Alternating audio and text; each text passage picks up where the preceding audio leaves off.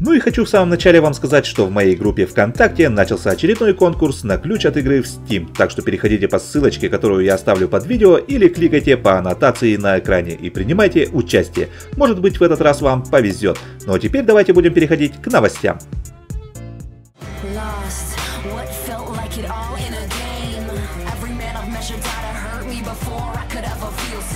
Great for our union. Would you die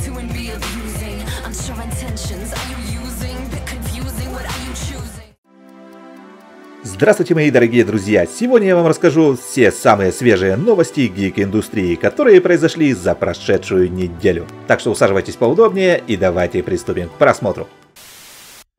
Студия Inxile во главе с Брайаном Фарго анонсировала выход Wasteland 3 компьютерной игры в жанре тактической командной RPG. Разработчики обещают несколько нововведений по сравнению с предыдущей частью, в их числе синхронный и асинхронный мультиплеер, который позволит игрокам, находящимся в разных частях игрового мира, влиять на положение дел. На смену старым диалогам придет система веток. Также у игрока под контролем будет собственная база рейнджеров, которую он сможет развивать по мере прохождения. Сети также появилось много новых фотографий со съемочной площадки фильма «Человек-паук. Возвращение домой». На первой подборке фотографий, а также видео можно видеть, как Человек-паук бегает по улице, после чего притаивается возле одной из машин.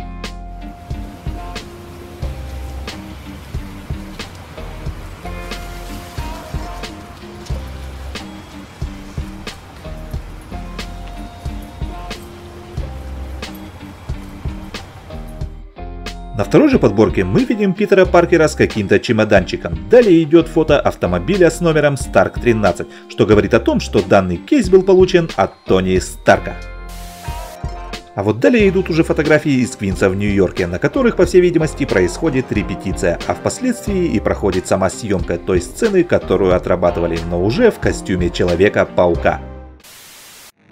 Ну и переходим к следующей новости. Канал CW выпустил кадры из предстоящего второго эпизода «Парадокс» из третьего сезона телесериала «Флэш», в котором возвращается Джей Гаррик, роль которого исполняет актер Джон Уэсли Шип. Вполне возможно, что мы увидим команду, состоящую сразу из трех Флэшей. Кит Флэш, Джей Гаррик и, конечно же, сам Барри Аллен. Премьера же второго эпизода Флэша состоится 12 октября 2016 года. Портал Variety сообщает, что актер Уилсон Дьюк присоединяется к актерскому составу предстоящего фильма «Черная пантера». Ему предстоит исполнить роль злодея по имени М. Баку, также известного под псевдонимом Человек-обезьяна. Человек-обезьяна впервые появился в комиксе под названием «Мстители номер 62» от марта 1969 года. М. Баку родился в Ваканде, Африка. Он был одним из самых великих воинов Ваканды, уступая только лишь Черной Пантере. Премьера фильма «Черная пантера» состоится 15 февраля 2018 года. Идем далее. В сети появились кадры из третьего эпизода «Посмотри в мои глаза» третьего сезона телесериала «Готэм». В Готэм прибывает гипнотизер по имени Джервис Тэч, известный как безумный шляпник, роль которого исполнит актер Бенедикт Сэмюэль. Тэч обращается за помощью к Джиму Гордону в поисках его пропавшей сестры Алисы. В это время Пингвин принимает серьезное решение, а двойник Брюса вызывает проблемы для будущего Темного Рыцаря. Кстати, все это мы можем наблюдать уже сейчас, так как премьера третьего эпизода была назначена именно на сегодня. Еще одна новость от CW, так как канал выпустил партию официальных промо-кадров из второго эпизода Общества справедливости Америки второго сезона телесериала «Легенды завтрашнего дня». Кадры предоставляют первый взгляд на команду Общества справедливости Америки. Команда дебютирует во втором эпизоде, в котором легенды прибывают в оккупированный нацистами Париж. Команда будет состоять из командора Стали, Лисицы, Доктора Миднайта, Старгерл, Обсидиана и Часовщика.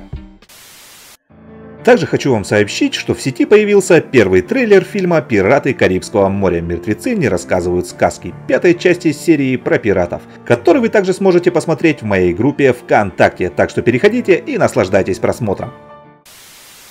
Ну на сегодня это все новости гик-индустрии за прошедшую неделю, и поэтому я буду заканчивать. А кому понравилось видео, не забывайте поделиться им со своими друзьями и поставить под ним лайк.